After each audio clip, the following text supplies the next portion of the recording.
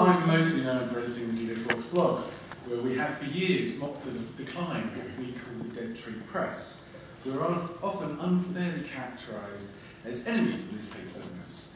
It's not true. I love the news business. In fact, I was from the age of 12 to 15 a newspaper boy, and I would stayed a newspaper boy if some editor hadn't quadrupled the size of the Sunday Times, broken my back trying to stuff it with Wonder what happened to him. I am the only person to have three summonses from Lord Leveson. I'm probably the first journalist and hopefully the last to be censored by him.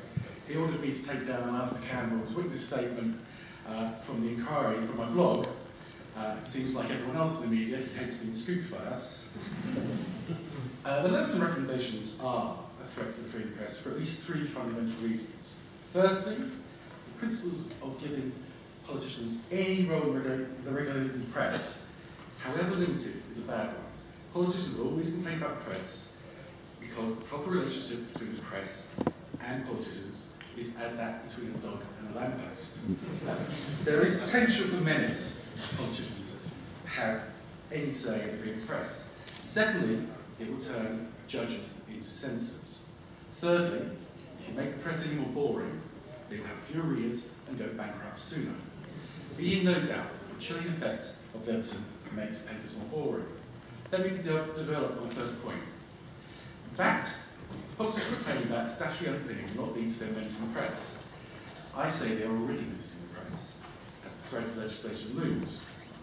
The first time I met Chris Bryant was at an event held by the Press Complaints Commission. They were worried about uh, regulating offshore-based websites like mine. I told them not to worry, they can't regulate it. Anyway, towards the end of the seminar, Chris told me to my face, in front of everyone, in so many words, that he wished to see my site closed down. Let me repeat that. He wished to see my site closed down. Mr. Bryant now expects me to believe he is a guardian of the free press.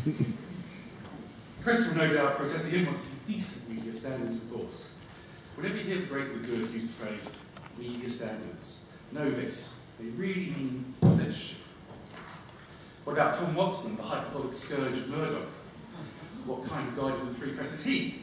Well, Harry Cole, who works for me, once wrote something on the blog that Mr. Watson didn't like. Harry also co-writes a column with me in the Daily Star on Sunday. Tom Watson called the editor of the Star to complain about written. Harry also contributes to the Spectator, he called Fraser Nelson to complain about he on our blog, very much. Uh, when Fraser gave him short shrift, he called the publisher to complain about Fraser and Harry. Tom Watson was trying to get Harry sacked for displeasing. Now this was when Watson was on the media select committee, leading the charge against International and all the rest. If Watson had had a statutory lever, he would have pulled it out opened the on Harry, the young journalist. The fact is that Leveson inquiry Never mind the outcome of it, it's already had a chilling effect. Since the closure of News the World, not one single politician has been called this down. They all have either become true to their lives. But that was, wasn't it? They've all either become true to their lives, or the papers are afraid of the political class. A lack of, ex a lack of extramarital affairs reported is an unhealthy state of affairs. Why is it an unhealthy state of affairs?